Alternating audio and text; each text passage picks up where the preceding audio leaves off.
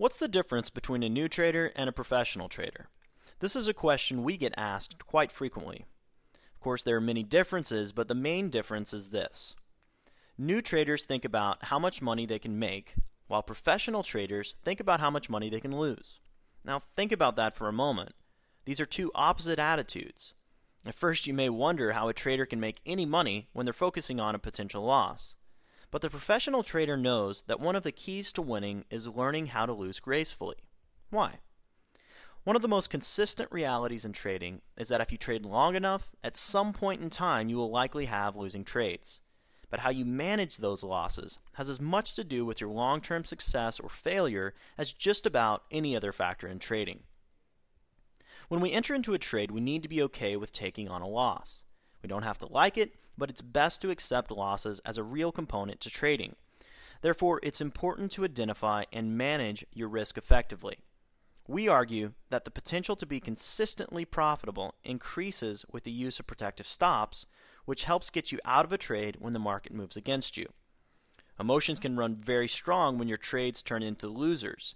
That's why we feel the first step before entering into a trade is to determine when you're going to get out of the market. If you use a wait and see approach to trading, you put yourself in a position to let your emotions take over your decision making process. Traders who do not identify their risk before entering into the trade can quite often go through the three stages of getting the dreaded margin call.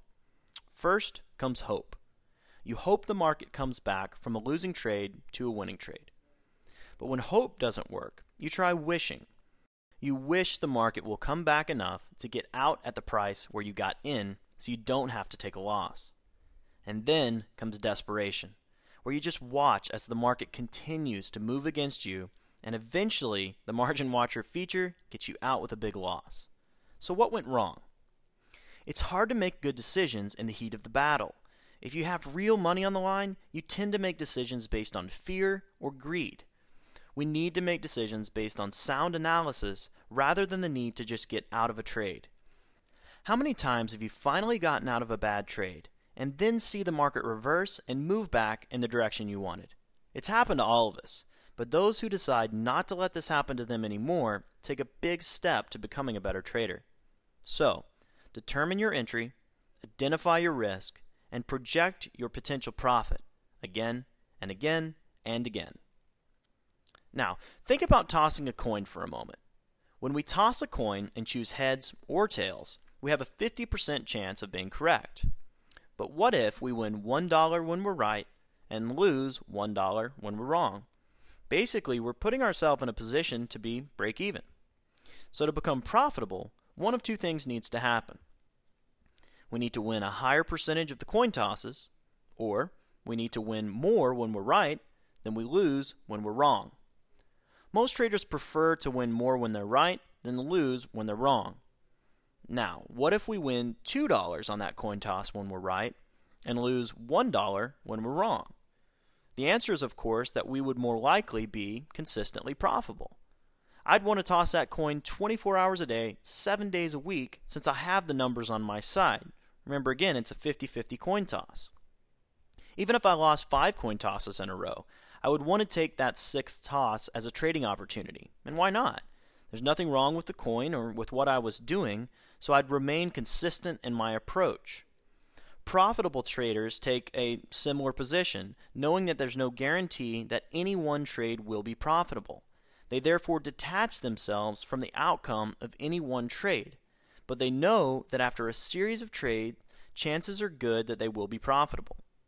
Whether it's a series of 10 trades, one month of trades, or a quarter or a year of trading, they know they have been profitable in the past, and since they're using the same approach, the chances are good that they will be profitable in the future. This is their strength. It's easy to keep your emotions out of your trading when you treat trading as a business rather than a source of entertainment.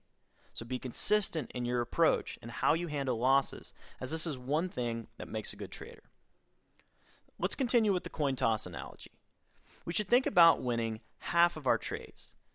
It's true, some new traders find a way to win 75% of their trades or more, but the problem is that they win a little while risking a lot. We've seen a new trader win 10 pips on a trade, then win another trade with 10 pip profit, then perhaps even one more. but when they try to win 10 pips on the fourth trade, the market does not behave and they may end up losing 50 pips on the trade in an effort to win 10 pips.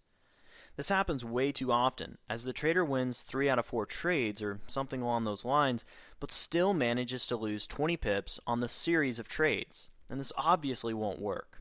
But what does work? I hope you already have something similar to the answer.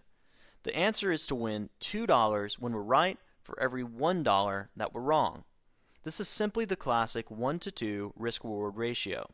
We risk $1 and look for $2 in profit or more, or we risk 100 pips when we're looking for 200 pips or more in profit. We want to try to win 50% of our trades and make more when we're right than we lose when we're wrong.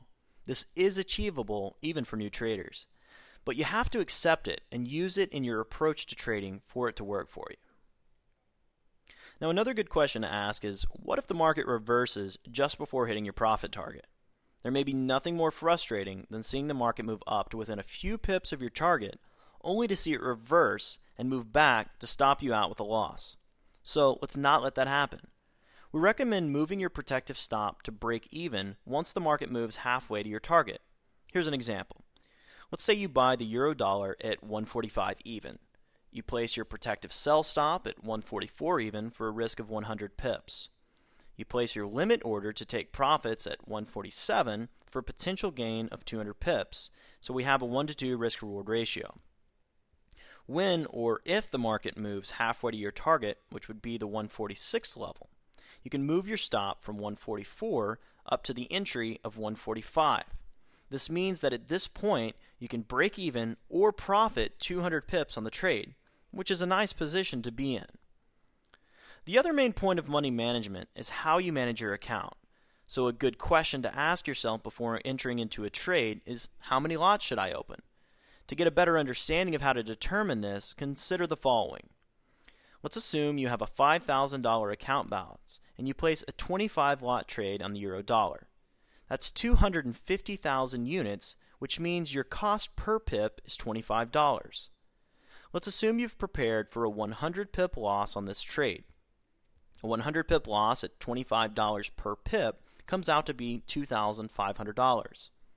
With a $5,000 account balance, it doesn't make much sense to open 25 lots and risk half of your account balance on a single trade, does it? Remember the coin toss. What if we were to lose 5 trades in a row in spite of a long term 50% win ratio on our trades? The problem, of course, is that we could run out of money before winning another trade. So we want to risk a limited number of pips and a limited amount of our account balance so we can continue trading even after a few losses. We recommend not risking any more than 5% of your account balance at any one time. To get a better feel for calculating your trade sizes so that you can achieve this goal, let's go through some calculations together. First, 5% of $5,000 is $250. To make sure that you don't risk more than 5% of your account, you'll want to risk no more than $250 at any one time. To do this, you'll need to follow two steps. The first step is to determine your stop on the trade. Let's again assume you're willing to risk 100 pips on a particular trade. Next, you'll need to find out the pip cost per 10k lot for the pair you're trading. You can view the per lot pip cost from the pip cost column within the simple dealing rates window of the platform. For this example, let's assume we're trading the dollar yen, which has a per lot pip cost of about $1.10. If we multiply that by the 100 pips stop loss, we get a dollar loss of $110. So, so far, so good. But what if we double our trade size from one lots to two lots? That would mean our pip cost doubles and goes from $1.10 per pip to $2.20 per pip. So a 100 pip loss trading two lots would be $220. Still under the $250 maximum that we have. But what about three lots? With three lots, our pip cost goes up to $3.30 multiplied by the 100 pip loss, and we get $330, which is more than the $250 or 5% of our account. So at a maximum, we'll want to trade two lots on this particular trade to stay within these parameters. I have to take a moment to strongly emphasize something here. Notice that our recommendation was not to risk more than 5% of your account balance at any one time. This does not mean that you can open 5 trades, each risking 5%. That's a risk of 25%, not 5%. You'll often find that there are many good trading opportunities available at the same time, but depending on the amount of capital you have available to you and the risk that each trade has associated with it, you might not be able to act on all of them. Patience and consistency are key. And remember, a missed trade today will likely bring with it another trading opportunity tomorrow. To conclude this video, let's sum up what we've covered. First, identify where you're going to get out before you get into a trade. Second, use a protective stop and have it in the market whenever you're in a trade. Third, use a 1 to 2 risk reward ratio so that you can be profitable if you win half of your trades. 4. Never risk more than 5% of your account balance at any one time. And 5. Obey all rules at all time. This concludes our introductory video on money management. Thanks for watching and good luck with your trading.